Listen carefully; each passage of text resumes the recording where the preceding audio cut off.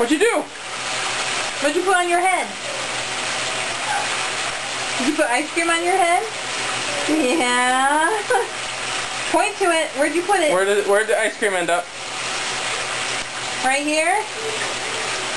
Maybe did I take a little camera and walk over there? And it's on your Hold your hands. Look down.